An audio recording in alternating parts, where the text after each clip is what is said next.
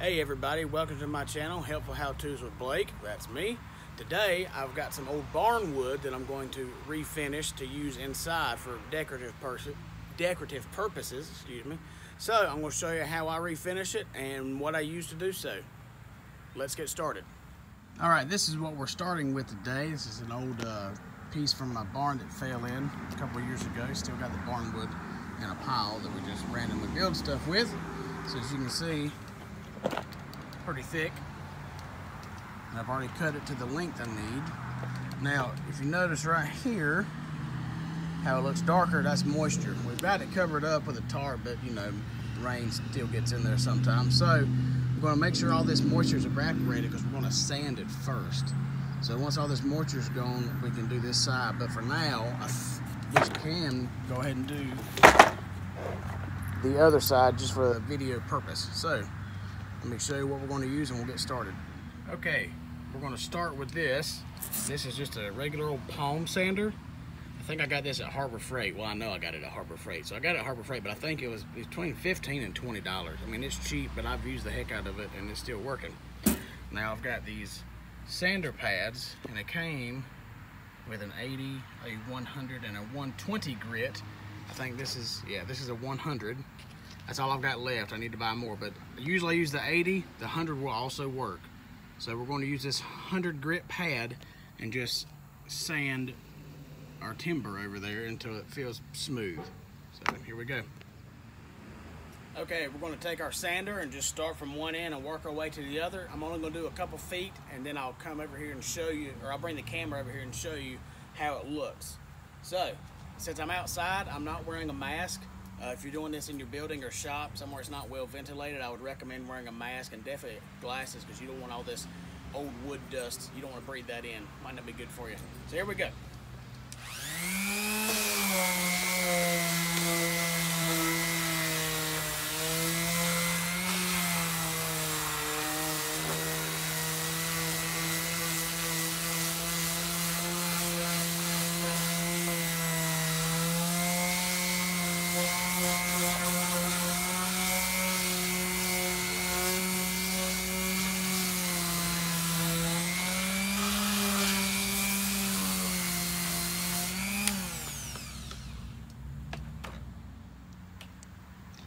Okay, here's where I just sanded. You can see the difference in color from there to where it's old, still old, and uh, really rough right there. But where I sanded is smooth. Now, I've got my air compressor hose, and this hooked up in the building behind me. We're just gonna blow it off.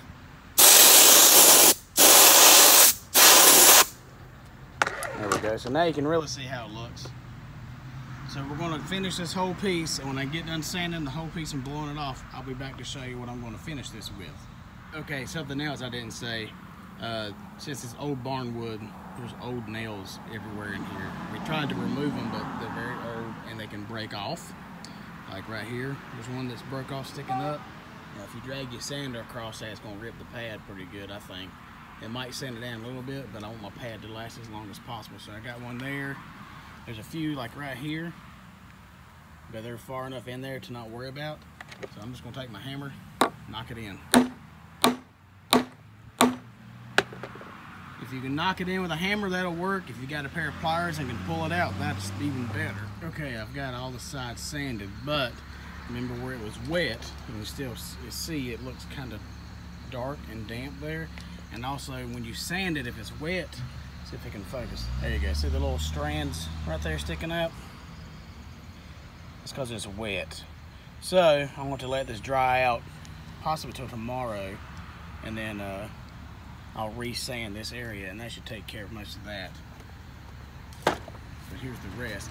The thing I'm gonna do, I'm gonna go ahead and show you what how to finish, at least start on this side. So let's get that going. Okay, I've got it all cleaned off and uh, blew it off with an air compressor hose we're going to use this. This is Minwax polyacrylic. Now this is for inside only. You don't want to use this outside in the weather. But this will make it look really good. So we're going to not really shake it, but stir it up real good. I know I said not shake it, but not shake vigorously because I don't want a lot of air bubbles. And we're going to just put a layer on here and let it dry. All right, everything is clean and dry. Got our paintbrush and our Minwax. I'm gonna stir it up with the brush. Then just apply a coat. Here we go. And it looks milky while you're doing it, but it'll dry clear.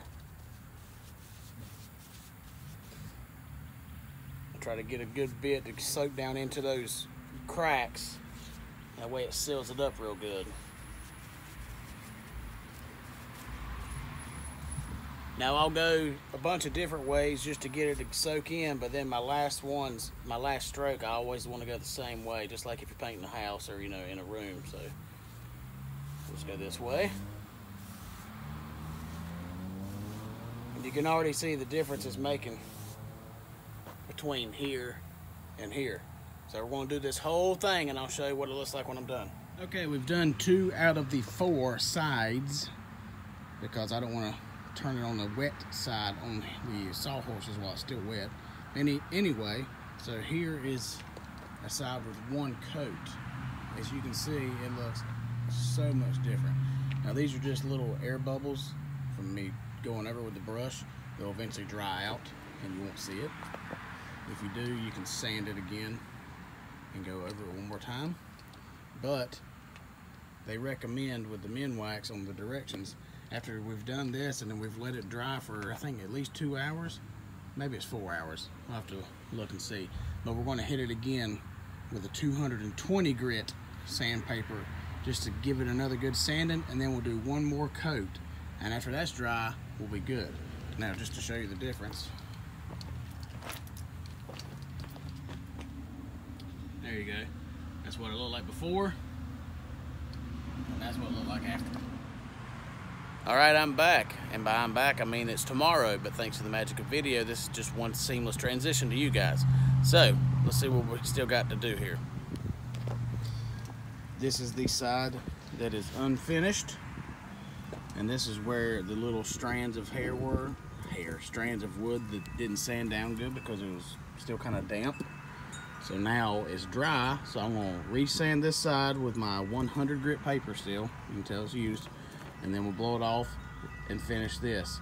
When I get done with that, I'll come back and show you the sanding with the 220 grit paper and the second coat of polyacrylic. Okay, now we're going to do our final sanding, and this is a 220 grit sandpaper. It's used, but I don't know if it's going to focus or not, but it says P220 there on the back. So, put this on here. We're just gonna sand, I'm not, like like before, I'm not gonna do the whole thing. I'm just gonna do a little bit and I'll grab the camera and then show you what it looks like.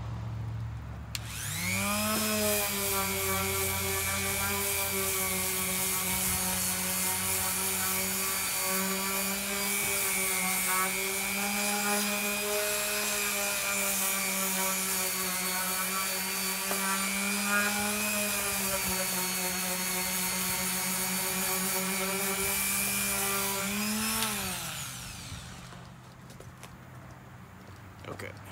Okay.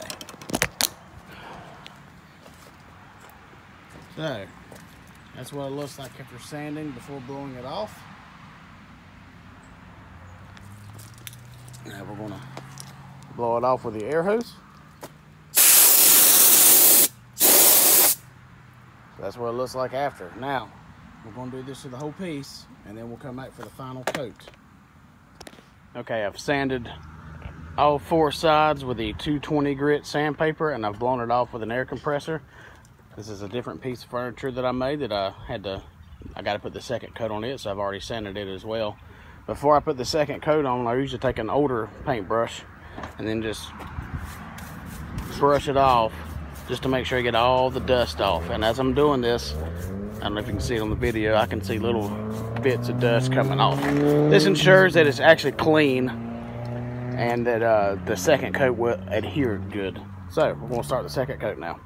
Okay, time for the last coat. I've got a bigger brush this time because I'm going to do this one and my piece of furniture over there. So we're just going to do another coat. I've already stirred this. So we're to just give it another coat.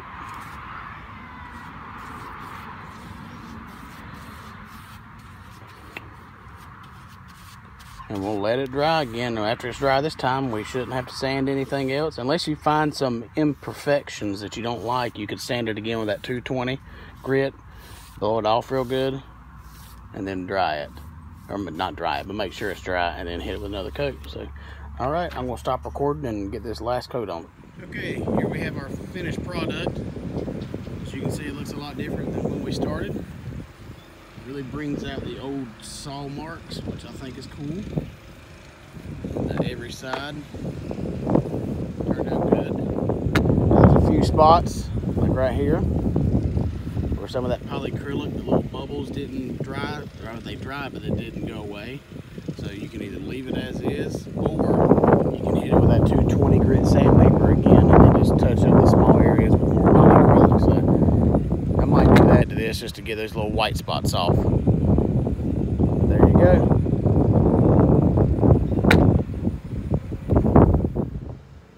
All right, guys, that's pretty much it for this video. Uh, went a little bit longer than I planned on, but either way, I think it was informative. If you like it, give it a thumbs up and share it, and also subscribe to the channel. I appreciate it. God bless America. Y'all have a good one.